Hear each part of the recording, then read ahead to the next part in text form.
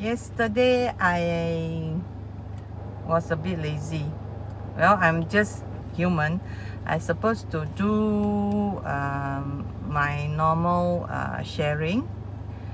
But because I was just uh, completing my Google Garage uh, lesson it's really interesting you know to study online on things that you think you know but then in actual fact they are more in depth the more in depth you go into it then you realize a lot of things you still don't know. Uh, after that I uh, watched three movies with my daughter. I'm not a very keen movie uh, I know I'm not keen on movies but I watch it and then I play some uh, I will be moving around you know so that's why cinema is one place that I don't actually uh, I mean cinema is the only place that can keep me uh, uh, occupied for three hours without moving about.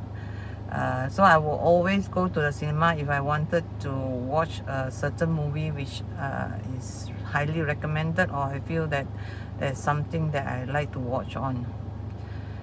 Uh, so let, let me just get this off. Ah you cannot breathe okay so yesterday I watched one very nice movie. Uh, it's a Hindi movie but speaking in uh, English speaking.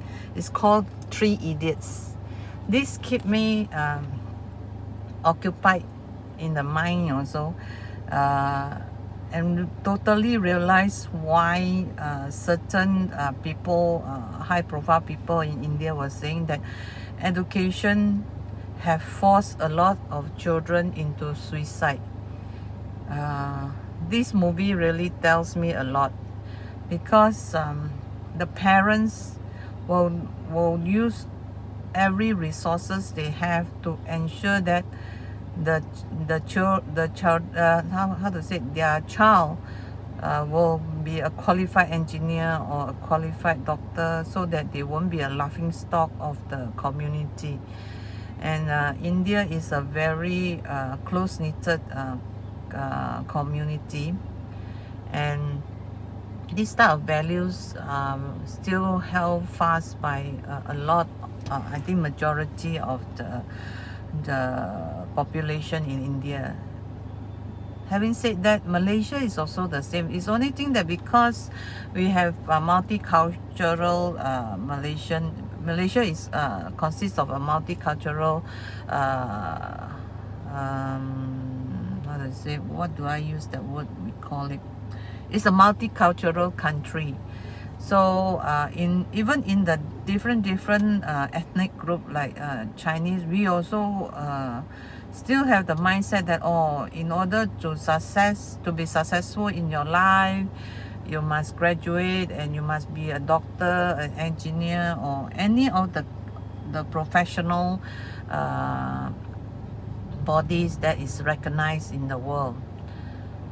But the thankful thing is the the generation now uh, are much better. Like generation like me, uh, my generation on uh, educating my daughter. I'm more on uh, coaching. You know, I'm more on uh, sharing and coaching, asking her what she want to do. Uh, not giving her any pressure in uh, completing her her education in uh, the uh, distinction you know. Uh, because I feel that each and everyone have their own passion in life. That's why there's so many profession in the world. If everybody is only going for the things that we have set as a rule as something reputable as a, a, a career they will not be able to expand above, uh, above their horizon and uh, what I want to encourage parents nowadays uh, don't um, doctrine your children to be what you are. If you have been successful that is a great sign and they will sure want to follow your footsteps even without you forcing them. Because they are your child after all. They have your genes.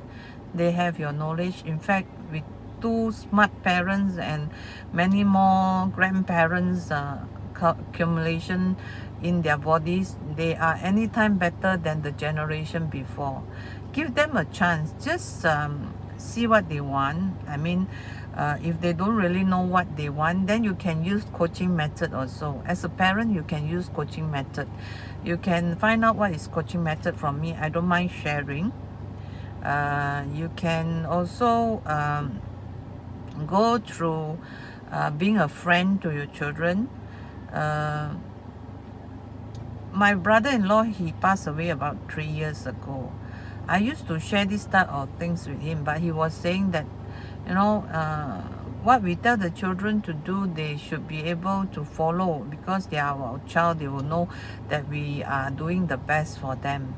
But in the new world what is best for them is really very different from what it was for us long time ago so the evolutions of uh, economy and also mindset we have to take into consideration. Uh, even for me I think that I know a lot. I think uh, like I said. But in actual fact I have not.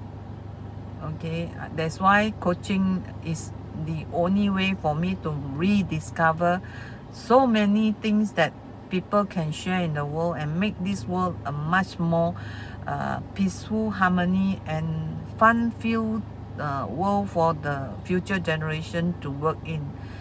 Uh, you want to see your children going to work happily every day coming back happily giving best quality to their bosses or best quality to their staff. These are the things that we should cultivate for the future generation.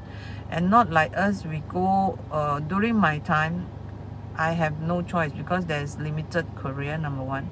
Number two I have uh, a small scope of uh, knowledge because I graduated just form five. The rest I learned along the way. But learning is something that I have always uh, a passion for though I don't like the words but I thankfully nowadays you have video you have audio you have podcast. If I don't have the patience to read or don't have the understanding to read uh, the terms and condition the video and the DIY will help me to uh, tap inner into whatever I'm looking at. Use whatever resources you have to upskill yourself and then you will know where your child is going to be and you will feel very safe. Um, at times we think that they are making wrong decision, but how sure are you you are making the right decision? How sure are you that whatever you choose for him or her is the right thing for him or her in future? And how sure you are you that they will love you for making a that decision for them? Now think about this uh, if you need anything to share uh, you just contact me. Um, I'll be glad to share with you because uh, learning is a two-way traffic okay? It's just that we have to open up the door to learning and knowledge every second of the day. Till then thank you. Talk to you again. Stay safe stay well and we all will excel. Thank you